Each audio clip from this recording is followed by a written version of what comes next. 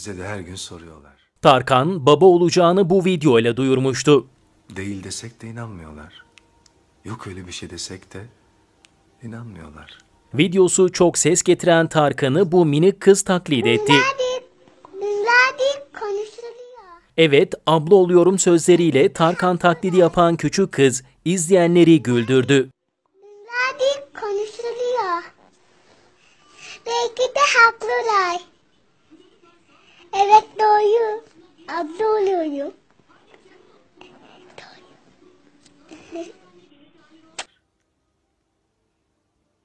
Belki de haklılar. Evet doğru. Baba oluyorum. Doğru. Çok mutluyum. Paylaşmak istedim sizlerle de.